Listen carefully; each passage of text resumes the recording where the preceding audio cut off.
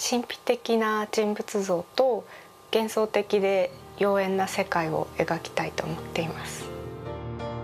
漆黒の世界に浮かび上がる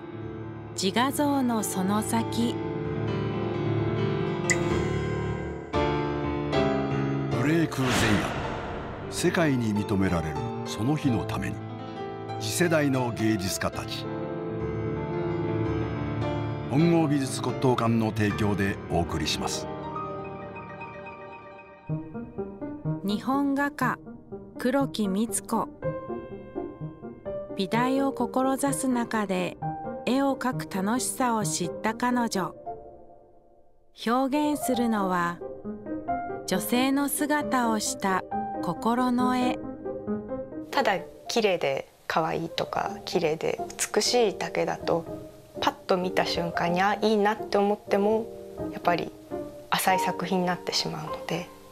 こう描かれてる人物も訴えかけるというかこう感想でこう口に出していろいろ言いたいけどなんて言ったらわからないっていうこう言葉にできない抽象的な何かっていうのを形にするっていうのができればいいなと思って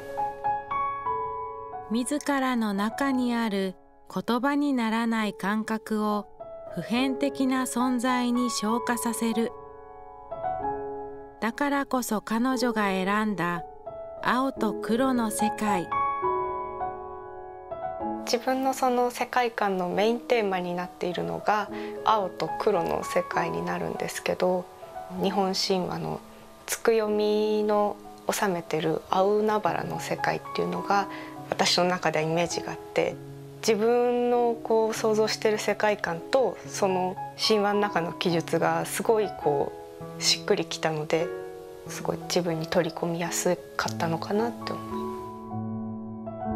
す。海と夜を治める神つくよみ。その深遠な世界を描くことで自分の心を表現する。そんな彼女がこだわっているもの。日本画っていうのにはこだわりは持ちたいので実際に見ると結構画面の表面ってこうデコボコしてたりとか工芸的な要素が日本画って結構強い画材になるのでそういう素材感みたいなものをなくさないようにしたいなとは思ってます。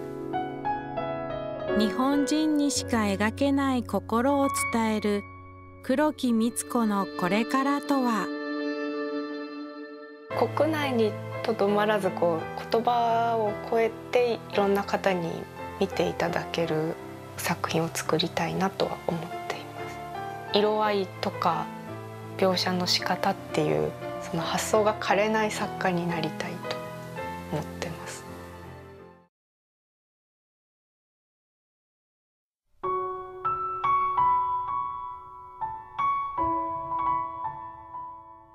美を次の世代へ。27人のあらゆる分野の鑑定士があなたのお手伝いをいたします。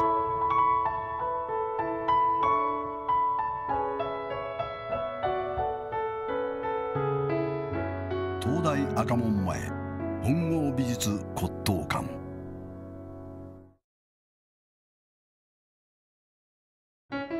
次週は現代美術家鎌谷哲太郎のブレイク前夜本郷美術骨董館の提供でお送りしました。